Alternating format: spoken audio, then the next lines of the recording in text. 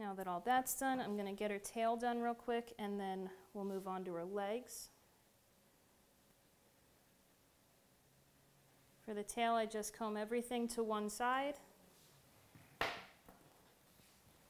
and trim a straight line from the tip of the tail pointing towards the pin bone. And you're just trying to make it look like a very neat little, some people like to call it a Christmas tree, and other people like to call it a carrot. And depending on how long the tail is docked, you'll either get a nice long tree or a short little tree.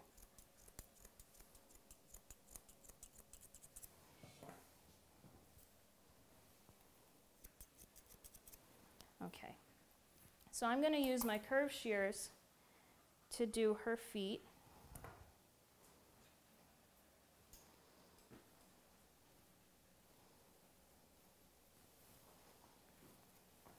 All right, so now I'm going to trim her back leg, and I'm using my Zolitta Mirage curved shears.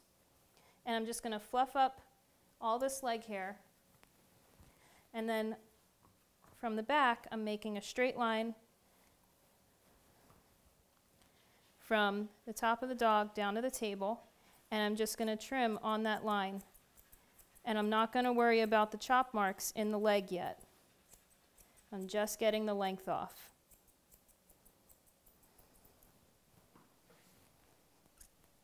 And then once I get all that length off, I can fluff this up again.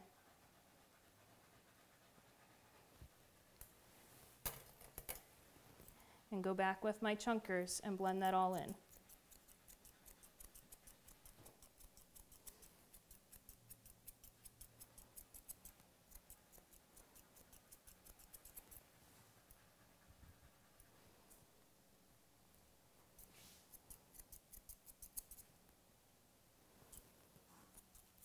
We want a nice uh, C shape on the back of the leg. So we want this to look like it scoops out. So we trim a little bit off below the stifle. Stand, stand. And the only reason I don't clipper this is because it'll take it too short and won't leave anything for me to sculpt the dog's leg with. So I like to chunk that off. I still take a good amount of it off just with scissors instead of clippers.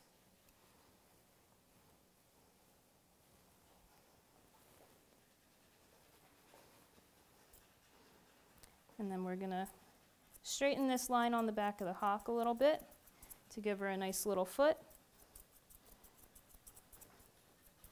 Wrap that around.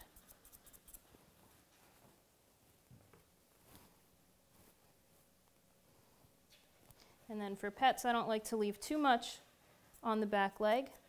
So I'm just going to take a little bit of that length off.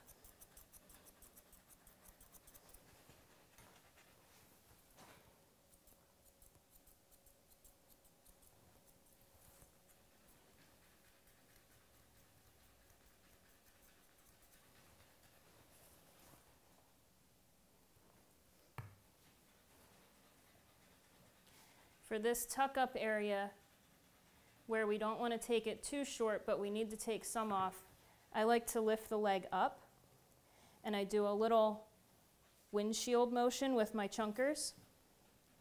So I'm starting at the tuck up and I'm angled out away from the dog. And I'm just going to chunk this out and go right into the leg.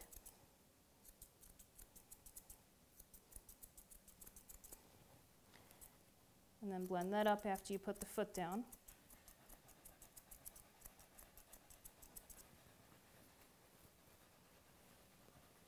So that gets a lot of that bulk out without accidentally taking too much off. So you've still got your length for your tuck up.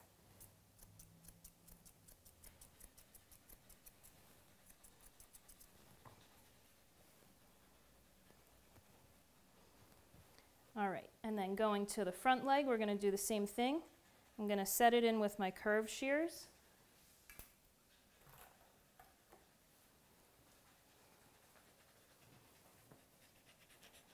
Fluff everything up.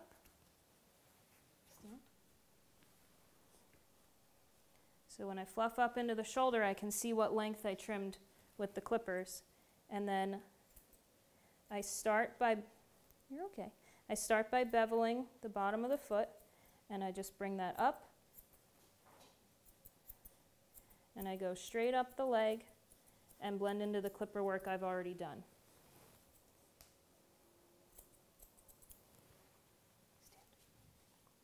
You're a good girl.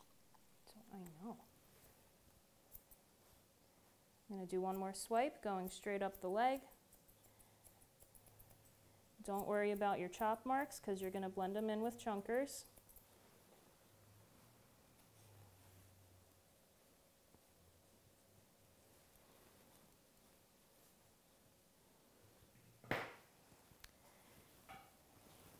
the same thing on the front of the dog. I'm going to start my bevel at the bottom.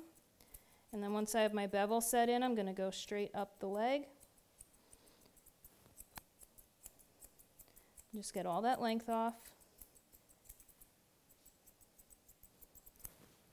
And then I'm going to switch back to chunkers and blend it all in.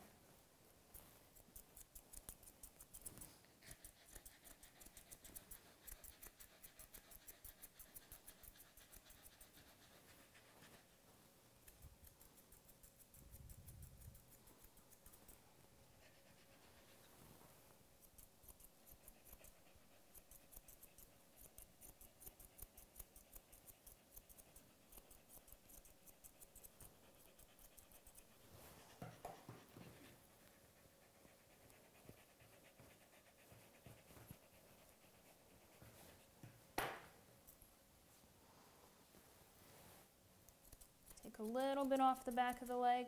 And then I like to cut a little angle from the, the big paw pad up to where the little knuckle pad is. And that just makes, give me your foot. That just makes her look like she's up on her toes. And for the majority of, the, of terriers, you want them to look like they're up on their feet. It makes it look like they're ready to go. So you cut that out.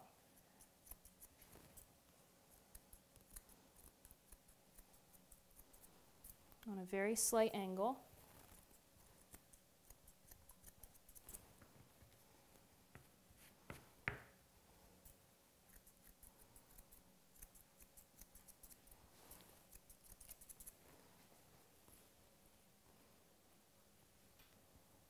Okay, and then same thing that we did on the back leg.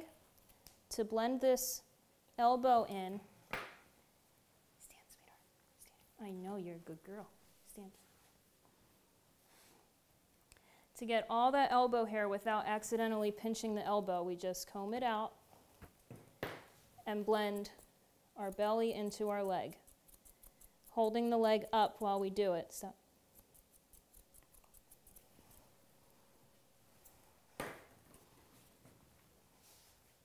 And that'll get all that excess hair out of the elbow and out of the armpit without pinching your elbow.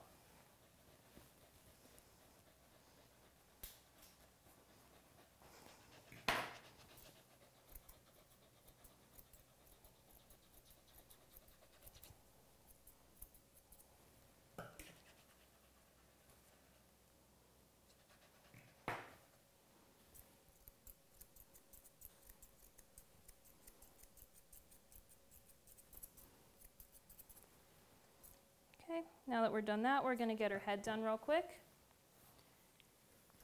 So we've already set her cheek and her throat in with a five comb on our, on our, or not our bravura, with a five comb on our Chromado.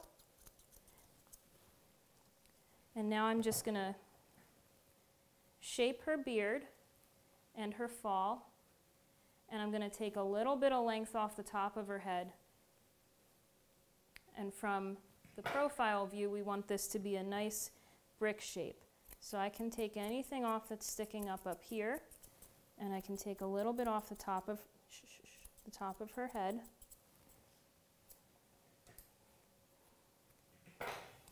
And then I'm going to blend this line where I stopped clipping. I'm going to blend right into her beard and right into her fall.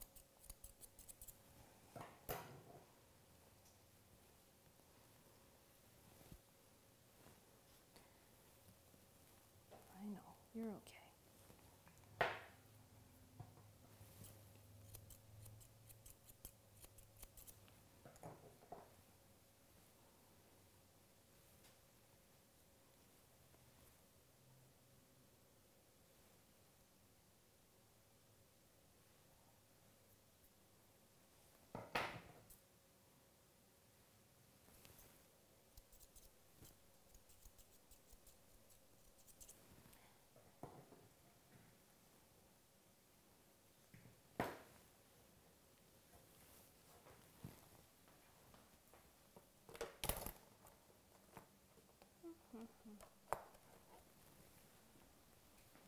We're going to use straight shears to clean up her ear a little bit. So I'm going to comb everything to one side and I'm going to protect her ear leather with my thumb and my fingers so I know how much I can trim.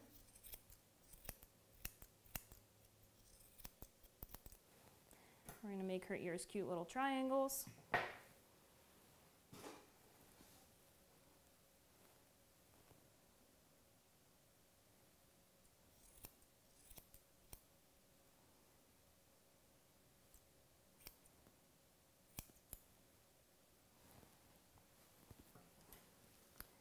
And then we fluff this up a little bit.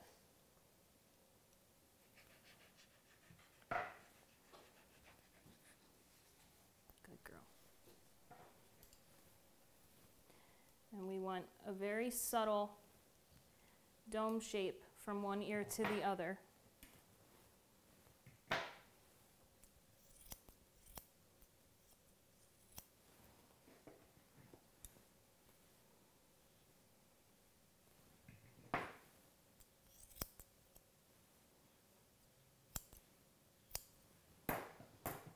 So back to my chunkers, I'm going to comb all this forward.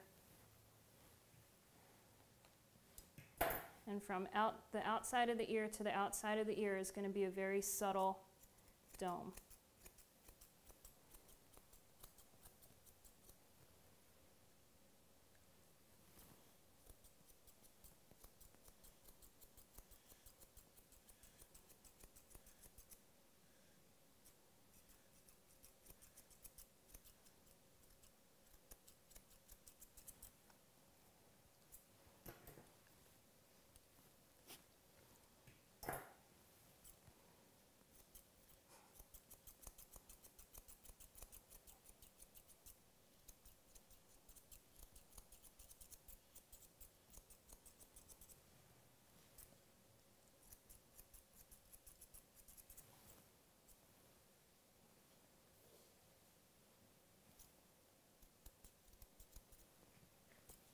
And everything now is just blending everything in. So we don't have any sharp, distinct lines. Everything should just blend into the next length of the dog or of the dog's coat.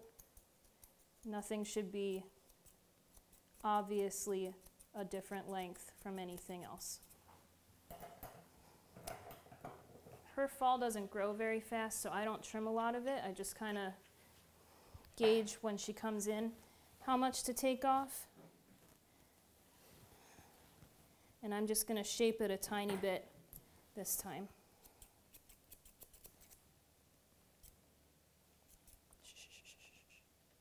Thank you.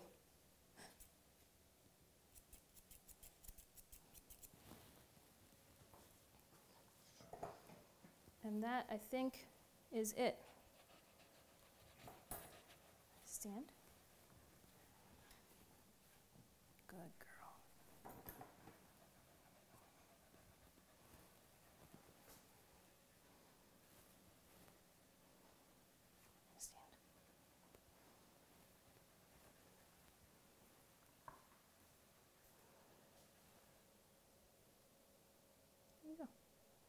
Think that's it.